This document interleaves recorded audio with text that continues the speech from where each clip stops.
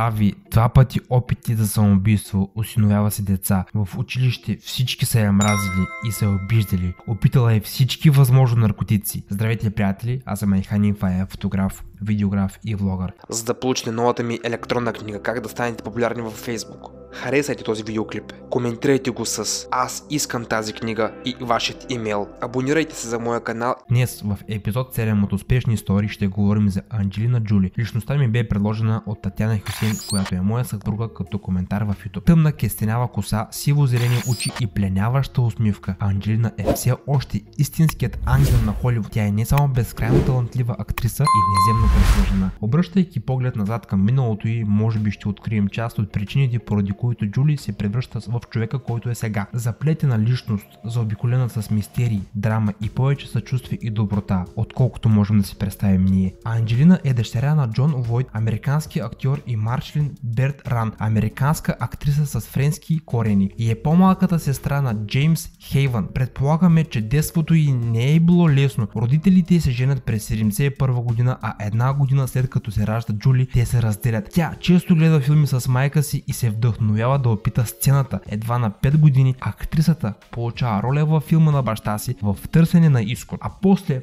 на 11 години постъпва за 2 години в школата за театър и кино на Ли Страсбърг в Лос Анджелес. В същото време става и модел по настояване на майка й. Ако си изгледал този видеоклип до тук и не си се абонирал за моя канал и желаеш да продължавам с подобен тип видеа, то тогава не забравяй да харесаш клипа, да се абонираш за моя канал и да кликнеш върху камбанката. През ученическите си години първо в Beverly Hills High School се чувства аутсайдер заради нестандартния си външен вид. Навика си да се облича с дрехи втора употреба и слабото си тяло не заменя черното за друг цвят. Боядисва си косата розово и се премества да живее при гачето си, когато е само на 14 години. Бедното детство на Джули, фактът, че тя е толкова различна и непокорният и характер и печелят подигравките на другите деца и изключването от училище. В това тя намира смисъл и много призвание да стане погребален режисьор и започва курс по балсамиране. И то в къщи. Анджелина прекратява връзката си, когато става на 16 години и се мести в собствено жилище. Но изолацията в гимназията, от която все пак се дипломира, хроничното недоспиване и хранителните проблеми не й помагат да си стъпи здраво на краката. На 20 годишна възраст вече е използвала почти всяка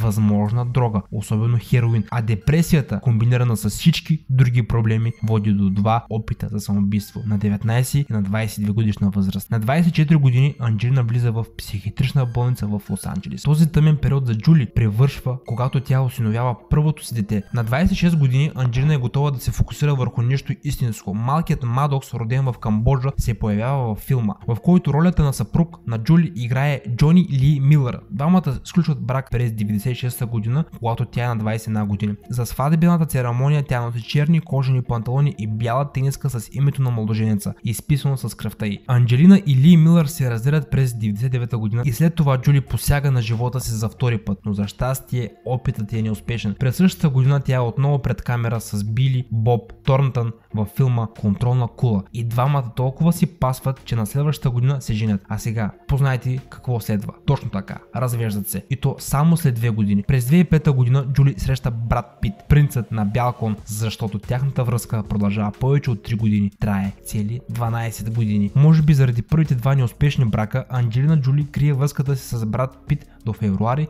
2006 година, когато обявяват, че чакат бебе. И ето, нещо в света на тази съкрушена от миналото си жена се преобръща. Изведнъж тя има човек до себе си, с когото може да има семейство. И то не малко такова. Двамата актьори имат общо 6 деца. Три биологични Шайло, Вивиан и Нокс и три осиновени Мадокс, Пакс и Захара. Интересно пояснение за дъщеря им Шайло Анджелина ражда в Намибия, така че сега малката Джони Пит е официален гражданин на страната. Освен това, първата снимка на първородната рожба на двамата актьори е продадена за 4,1 милиона долара. През 2008 година, когато Джули и Пит посрещат близнаците си Нокс и Вивиан, продават първата им снимка за 14 милиона долара. Дали това са най-скъпите бебешки снимки в света, дори и да са, не съдим, защото семейството дарява всички средства на благотворителни фундации. Всичко върви добре, но не с дълго. Актрисата открива, че има ген, който я поставя във висок риск от рак на гърдата и яйчниците. Затова тя предприема смела стъпка, подлага се на операция за отстраняване на гърдите през 2013 година, а после и на яйчниците и маточната тръба. През 2015 година, почти две години по-късно, прекратява връзката си с брат Пит. Животът на Анджи отново се преобръща. Въпреки всички фази на невъобразими трудности, малкото почивни дни и време с